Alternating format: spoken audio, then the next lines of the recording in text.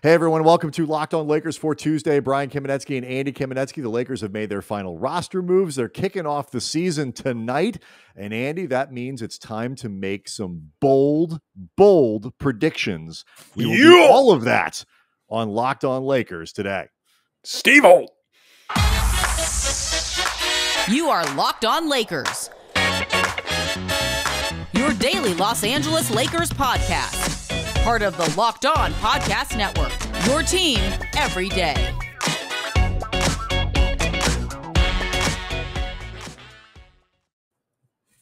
Want to thank everybody for making Locked On Lakers your first listen of every day, Monday through Friday. You get the podcast, um, and uh, we we certainly appreciate that. Go check out the fantasy stuff. That guy's been uh, Josh Lloyd's been crushing it, um, and it's it is a, an intense time of the year as everybody gets their fantasy seasons kicked off. I uh, want to let you know as well that today's episode is brought to you by Rock Auto. Amazing selections, reliably low prices, all the parts your car will ever need. Visit RockAuto.com and tell them that Locked On sent you. So tonight, Andy, it begins for yeah. reals. They're playing Woo. real games. Woo! And I'm looking forward to this for a while, not just because my God, I want to turn the page towards actual basketball. Like just the curiosity of how all of this is going to end up looking. I think it is safe to say has been killing all of us. And I'm so, I'm so stoked. Like it's like you know, last year there was you know obviously there's interest in every year. Things come together every year, and eh, or do or don't. But to some degree, um, a lot of last year, and you know, felt a little bit like, oh, are guys going to stay healthy or not? Like this feels a little bit more interesting in terms of the process that the Lakers are going to go through, um, combined with the are they going to stay healthy or not? And so I'm just I, I, like the players. I'm really looking forward to this process. The Lakers on Monday, as the season opens uh, tonight, finalized their roster, claimed Avery Bradley off of waivers from Golden State. And they signed him to a non guaranteed deal. So he occupies, at least temporarily, that 15th roster spot uh, for the Lakers. Obviously, it's a bit of a nod to losing uh, some of their depth right now. Wayne Ellington will not be available to start the season with his hamstring. He's the hamstring, right? Yes. Um, Kendrick Nunn will be listed as probable for tonight uh, for tonight's game, and um, no Malik no Malik Monk is probable. Malik Kendrick Monk is, is probable. questionable. Yes, thank you. So the Lakers are facing a little bit of depth issues, so they signed Avery Bradley. If this isn't the sort of I, I the non-guaranteed part of this i think is is what matters here because if this is what they plan on doing all year long i don't get it because they've signed somebody to a the most crowded position that they have. If it's a temporary thing where probably in december a roster move comes where maybe avery bradley isn't on the team anymore it's fine you know i mean vogel knows him the team knows him rob Pelinka avery knows the guys. Yeah. So um, I, I don't know how good he is anymore um, but, Golden State apparently didn't think he was very good at all. they had him in the preseason; they let him go. Um, as as I said earlier on Twitter at Kam Brothers, um, the Lakers have a very, very stringent policy the last few years of no swingmen wings, and damn it, they are sticking to it. Yeah. Um, so we'll see. I, I, you know, how much he plays is an open question. How long he is on the team is an open question. But if you're looking for a plug and play kind of guy where there is no learning curve for the system and things like that, Avery Bradley certainly fits the bill there. I was skeptical of how well he'd perform a couple years ago, and he certainly served a, a useful function, uh, particularly defensively with this team. It is ironic, though, I will say, and and you know, wishing him the best. Uh, he was a cool dude when he was in the locker room. There is an irony to signing Avery Bradley because you're dealing with injury issues. Yes.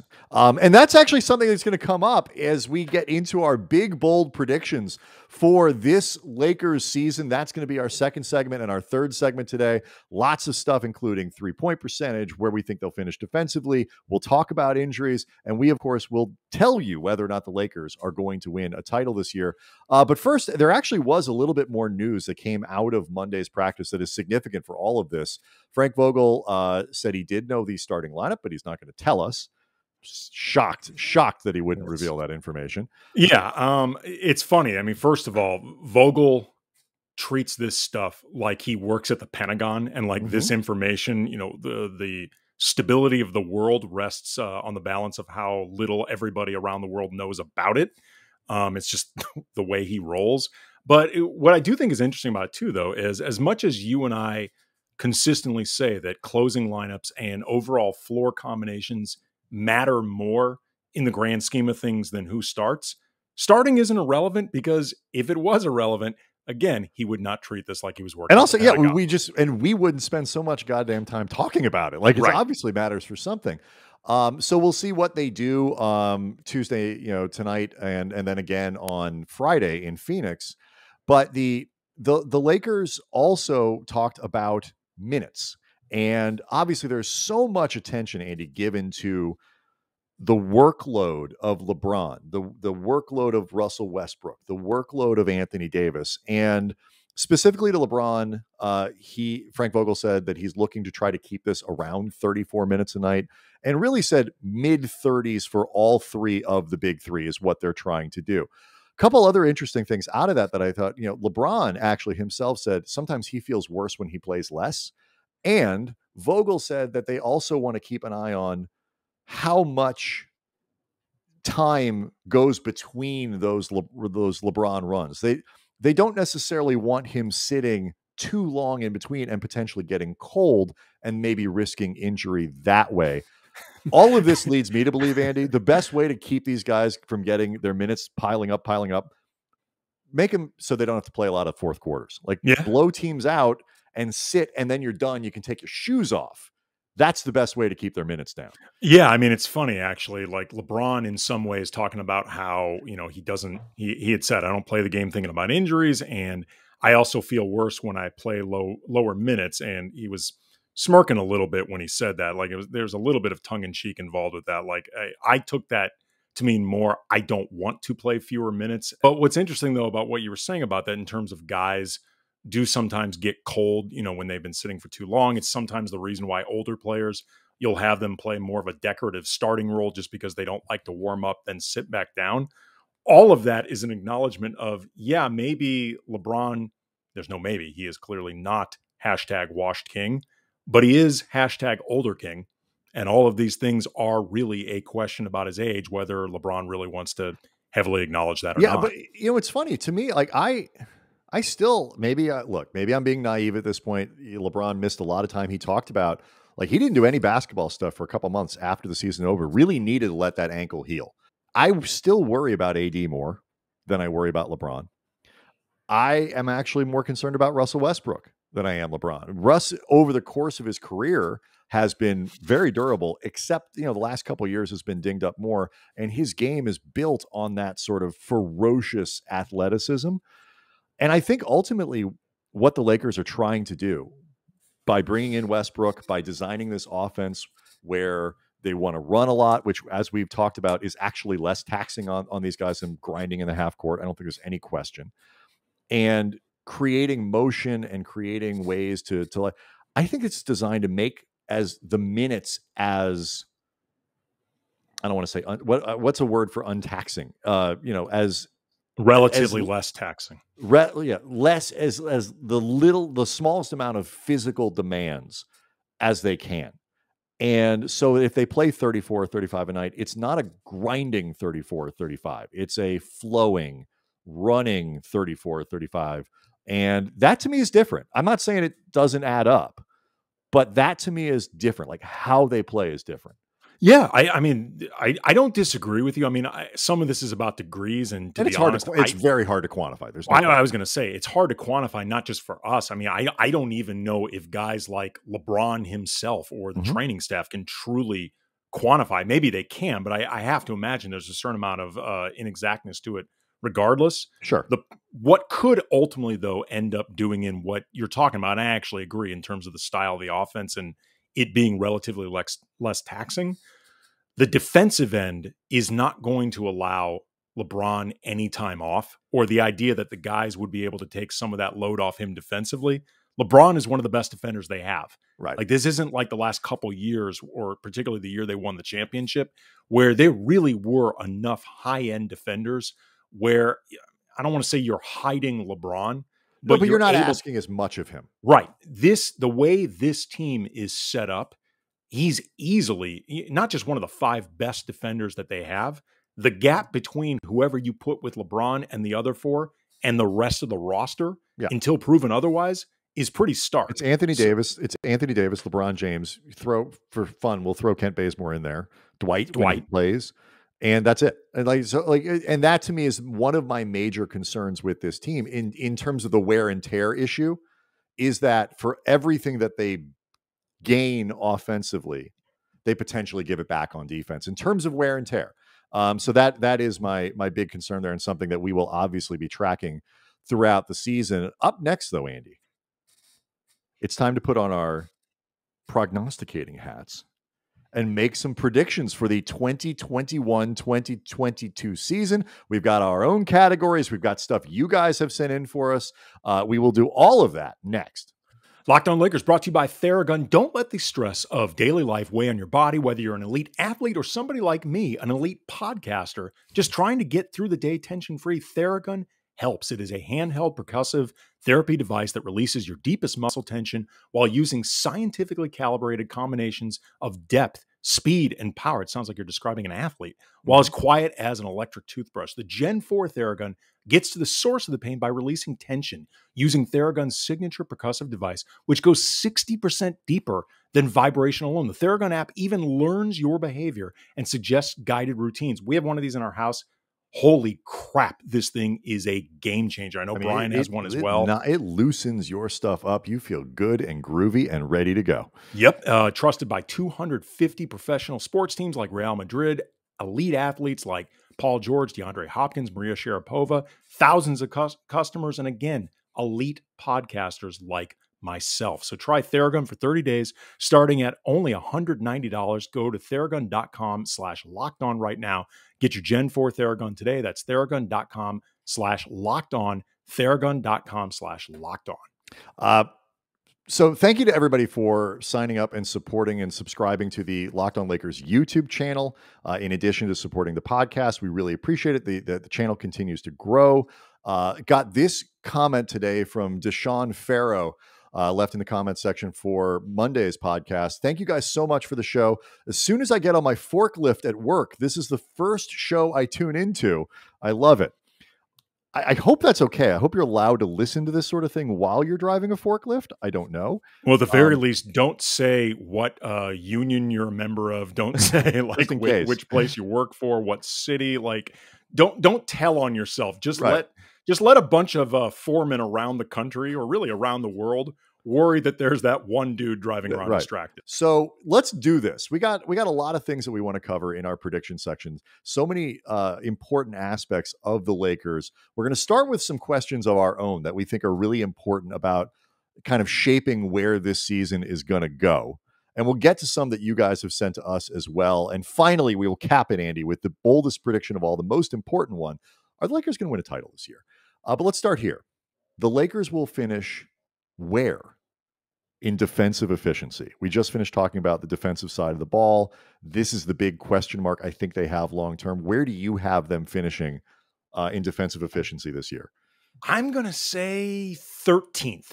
Ooh, Um, I'm going to say they're on the lower end of the high third of the league, something like that, or the high end of the second, something like that. I mean, it's it's tricky when you start tiering a lot of this stuff because sometimes the differences, you know, between you know the amount of basket, you know, amount of points given up per 100 possessions, it can be you know just like a basket's right. It's two. difference. It's it's a tenth of a point, two tenths of Right. a point, and all of a sudden you go from eighth to fourteenth. It's Or it's even like- functionally that different. the degrees of this can often be pretty tricky and you can improve or uh, lose your defense somewhat incrementally and it might not seem like that big Well, of a yeah, and I think last year was a great example of that. The Lakers certainly deteriorated as they lost, you know, ninety percent of their lineup, and they still managed to. They were not the best defensive team in the NBA by the end of the year, even though statistically they finished that way. They Okay. were, I think, remarkably good considering who they had available. Um, and that is actually why, and I think I think you're kind of tiering it is is smart. I have them at the bottom of the upper third. I have them finishing ninth but I do think that that's going to improve over the course of the year. I think for the first third of the year, I do not think they'll be that good. I don't think because I don't think LeBron's going to be able to go or is going to be going full out. I don't think Anthony Davis is going to be full out on that side of the ball. They've got too many injuries, not enough continuity, and they're still and and you know, I, I so I, I think they're a middle of the pack team for a lot of the year. And I think, given what Vogel's track record is, given the ramp up that that uh, that guys like AD and LeBron, I think will go through, that that will improve over the course of the year, so that by the end of it, that they're somewhere around the top ten. And I think that's good enough because if if they're a top ten defense by the end of the year, that will be good enough for them to compete and get to the finals, assuming that they make the type of offensive improvement to compensate for it. Um, and that actually, Andy, is a decent seg into our next question because these things are tightly related. The Lakers will shoot what from three point range? For reference sake, last year they were 21st at 35.4. What do you think they're going to do this year? You know, this is also really interesting. This is really hard. Yeah. Well, but also in talking about, you know, relative degrees and stuff like that, because last year, like you said, they were 21st with 35.4, which wasn't really that far off from league average. The previous season, the one where they won a championship, they actually shot slightly worse. They were 34.9, same ranking. But uh, the point being, though, last year league average was somewhere around 36% like mm-hmm. not that much better than what the Lakers did anyway. And sometimes the the difference between being below league average and what is acceptable isn't that big. So to me, along those lines, I think a lot of this really comes down to how many threes does Russ take over the course of a season? You are it's as if you are peering into my notes. And also, and, and, also Anthony Davis. Yes. Um, if Russ keeps his threes just at a reasonable number and Anthony Davis can get somewhere back to like his career best, which frankly wasn't that great. It's only 34%. That's the best mm-hmm. he's ever done for a season. I've said this many times. Anthony Davis is seen as much more of a floor spacer than he actually is. I think the Lakers can shoot somewhere around 36 ish percent because theoretically they're better guys like Melo, Nunn, Monk, Ellington those guys are going to be prolific with the amount that they take. You know, it's not like uh, a couple seasons they've had with like Caruso or Marc Gasol who shot in the 40s but barely took any. Mm-hmm. I think those guys can can keep up the team's overall average as long as Russ isn't irresponsible and AD can just be better. And I and I I think this is a great example. Like in investing, they talk a lot about like you know a lot of de- what determines whether or not you make money is is based on how if you can manage your losses. That to me is what this is. If you look at it, like you said, Russell Westbrook took four a game last year at 31.5%. That's not good. AD took nearly three a game last year, shot 26%. His bet, like he, he, the season where, the, you know, the, the championship season, he was only at 33%. Um, but there's a big difference between 33 and 26 if you're mm-hmm. taking three or four a game.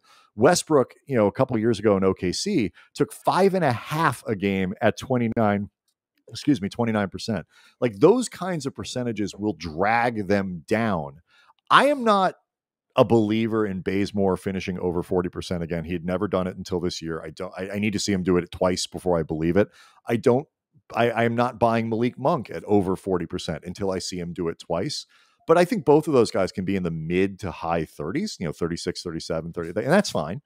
Um, the only player I think on the Lakers that I would bet to shoot over 40% from three is, is Carmelo.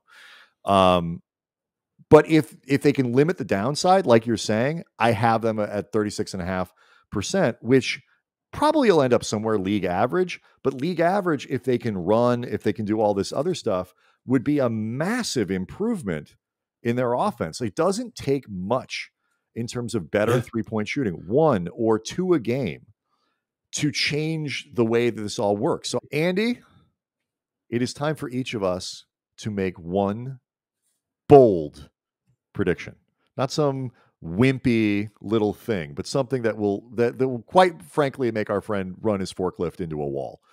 Uh, he might lose his job. Do you want to go first or me? Uh, you can go first. All right, here's mine. On a per capita basis, I believe that the old guys on this team, I'm, I'm, I'm, I'm pegging that at 32 and up, will actually be healthier, miss fewer man games played, um, ba- you know, per capita than the young guys. I am not a believer that the Lakers are going to lose a ton of games uh, be, because of old.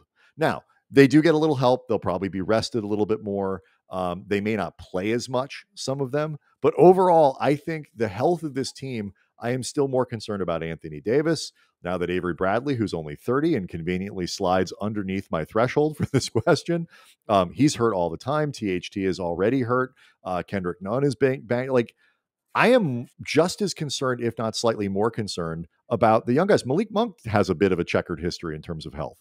So uh, that is my bold prediction. I think Melo is going to be available most of the year. I think LeBron's going to be healthy. Um, I'm, you know, aside from Ariza, um, I think Bazemore is going to be healthy and available. Dwight's going to be healthy and available. I am confident, more confident in the old guys than the young guys. Yeah, That's I mean, my it- bold prediction. It's an it's an interesting way of framing it. I mean, because it's it's a little bit of a cheat in the sense that those guys are going to be relied on to play game in and game out less, which lessens their opportunity to get hurt. But I- but I understand where you're coming from, and I do think there's sort of a an interesting inverted logic to it. My bold prediction: Russell Westbrook and LeBron James will average double digit assists this season between Ooh. one or both being on the court at the same time, the opportunities to set each other up, the way the Lakers are going to be looking to run the break constantly, the emphasis on motion, the emphasis on cutting, the the lack of hopefully isolation going on, I think they will both average a shade over, if not more, 10 assists per game, while I think their their overall points are going to end up dropping. Okay, I, I don't. I don't expect you Good to be to everybody else, by the way, getting Right. any assists. It's going to be Right. no, that's it. That's it. There are no. There are none left. But like I. But I'm wondering. I, I legitimately wonder if that's ever happened. That is a lot of assists for two guys to pile up. Um, and so yeah, I like it though. That would be Yeah. really cool. Like if that happens, that means this thing is humming. And uh, I am here for that. Yeah, absolutely. That that is my bold prediction. I th- I think both of them are going to average near career lows for points per game, if not career lows. They're both going to be not scoring nearly as much as before. I don't think it's out of the question Russ could average a triple double on this team, but either way, though, I think they will both In this formula, by the way, Anthony. Davis averages about 37 points a game. You know what? Everybody wins. It's great More power me. to him. Um, all right. Up next, your questions for us in the big predictions episode as we uh, kick off the season tonight. Uh, Golden State, uh, Lakers against Golden State.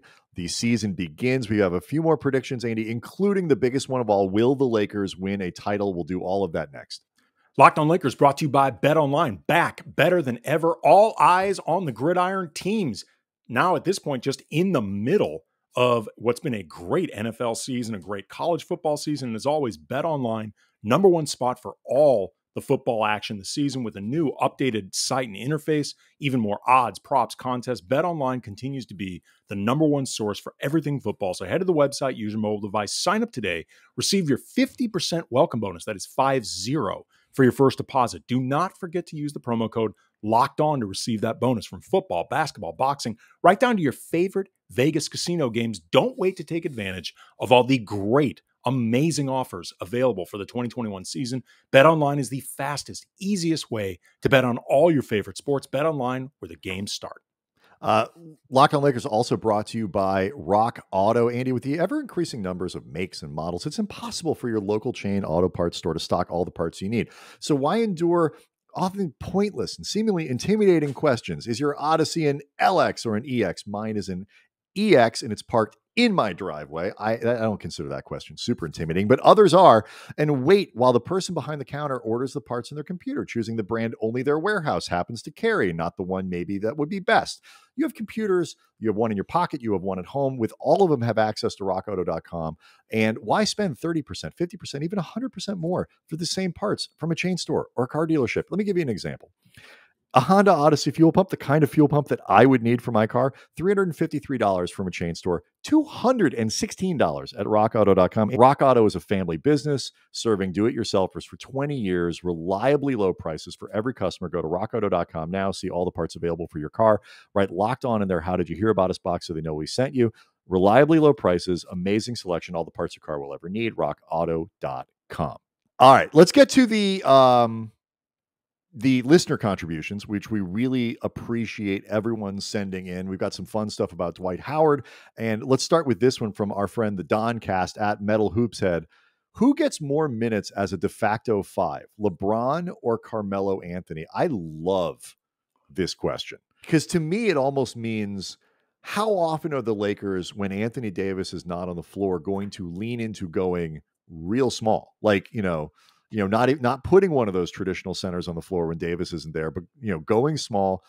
Melo at a five, LeBron at a five. You're still talking about guys who are six eight, six nine. Like you are definitionally small at that point.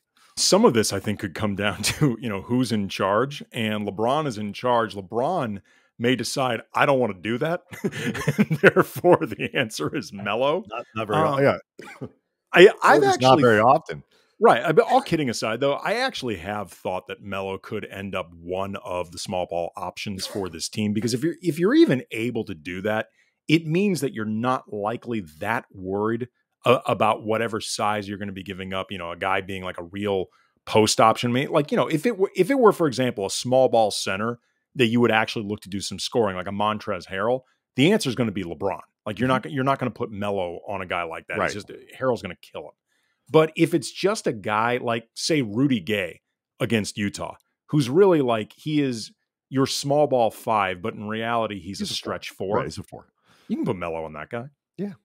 What I what I love about this is it is it it's a reminder of the options that the Lakers have available to them. For all the talk of them bludgeoning people with size, and by the way, they can. Like I still am kind of like the memory of looking at what their their lineup when AD was at the five with Russ and LeBron and Carmelo out there with Kent Bazemore. I'm like, that is a lot of human being.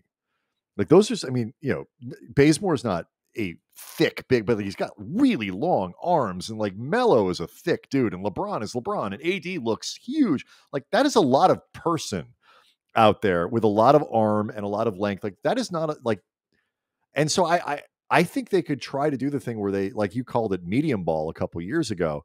They can go short with their height and still put good sized human beings out on the floor, particularly when Ariza is available. Um, so I, I'm I see this as a question that really gets to how how much are they going to experiment with different lineups and like what would a really small Lakers lineup look like when Anthony Davis rests? Um, could you put LeBron and Westbrook out there with Melo and a couple and just run, run, run, run, run? I, I think I would like to see them try. I think they will over the course of the year. Well, I mean, to ultimately, before we go to the next one, to actually answer Don's question, I think the answer is going to be Melo, just because LeBron will have so many different opportunities over the course of the season where, he- because he is so versatile, he can do so many different things. You're going to have him out there doing stuff that falls under the center umbrella less in these scenarios than Melo. So I think the answer ultimately is Melo. All right, next one from our friend LAL uh, at LAL Never. Um, how many games does Dwight have where he has more fouls than minutes played?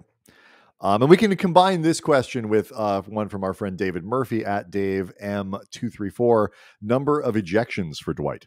Okay, first of all, before we even get into the answer, I want to make sure to give Dave a plug. Uh, read his blog, Searching for Slava. Yes. It's been great, great stuff covering the Lakers for years. Um, here's what's funny because, and was very excited about these questions because I don't remember what it was, but a few weeks ago we had no, you've some, been itching to use this for a while. we had something, some topic that came up about Dwight and fouling, and we ended up not using it in the show, but I, I actually did a little bit of digging. As far as Never's question, how many games does Dwight have more fouls than minutes played? The answer to that's zero, just because it takes a special type of incompetence to come up with that. That's like Travis six fouls Knight. in six minutes, Right. Like, That- that's under just- six minutes. Yeah, that's just you got to be a certain special breed. of Okay, how about this? How about we spin it? How many games do you think this year will Dwight will be will be ejected in under six minutes? I'm going to put it at two. Three. I think I think that's a bet. That is a better way of phrasing my original point. Three. Mm-hmm. Yes. Um, there's going to be a I few think he games. will foul out or be ejected from at least five games this year. Or, yeah, I'm going to say six games, and I will say that twice he will be eject he will be ejected before he has played six minutes. okay, I, there's going to be a few. We'll just leave it at that. Do I think this will be totally right? It's probably underestimating Dwight's ability to control himself a little bit. Do I want this prediction to come true? A thousand percent. I actually want myself to be wrong on the bottom end. I want these numbers to be higher. Like I think that would be. I mean, Like, long, I want to see this happen. as long as it does. Look, here's the thing, though.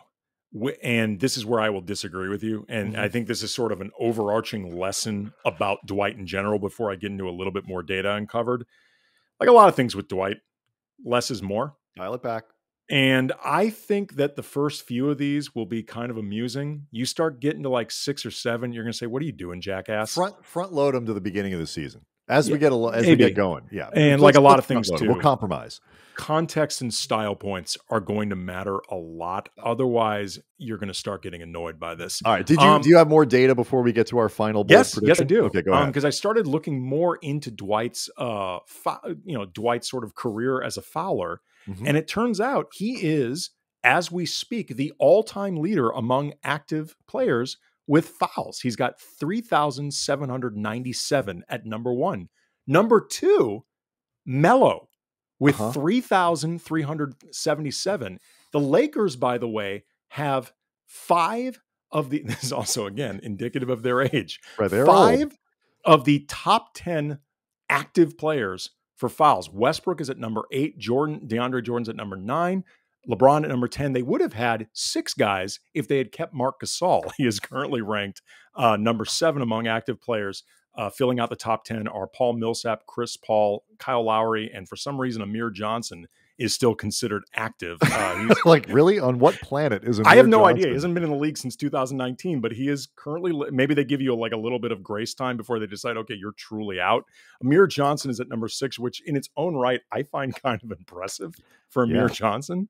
Well, Dwight, and, Dwight is 20th all time, and he's only he will pass. He will undoubtedly pass Shawn Kemp, who is only 29 fouls ahead of him. Yes. He'll pass Terry Cummings. He'll probably pass Hal Greer. Dwight Howard could absolutely finish uh, very close to the top 10 all time in fouls after this season. Taking this a little bit further, fanning out again, just reminding you how veteran this team is the Lakers have seven players in the top 30 among active players for all time. Trevor Ariza at number 18, Rajon Rondo at 28. And if they had kept Markieff Morris, who is currently number 29, they'd have had eight. Oh, he it's just it's man. just another way of framing just how, you know, Guy's been around a while. Dwight could get to his four thousandth foul this year. How do we celebrate that on the big board? Uh, but we'll, we'll, we'll do it. Uh, but that would that would put if he got to four thousand this year, he had two hundred twenty two in his first season as a Laker, two hundred last year. If he split the difference, that would allow him to pass Vince Carter uh, for, and he would be fourteenth all time. Um, all right, last one, Andy. This is the one that matters. This is the one that everybody's been waiting for. Will the Lakers win a title this season? Yes. I think they have a legitimate opportunity to do this as much as they've got a lot of pieces to put together. A lot of teams are also going to be somewhat behind the eight ball in terms of their own guys that are missing, whether you're talking about Denver, whether you're talking about Golden State, whether you're talking about the Clippers. You know, Phoenix and Utah have obviously a continuity edge over the Lakers.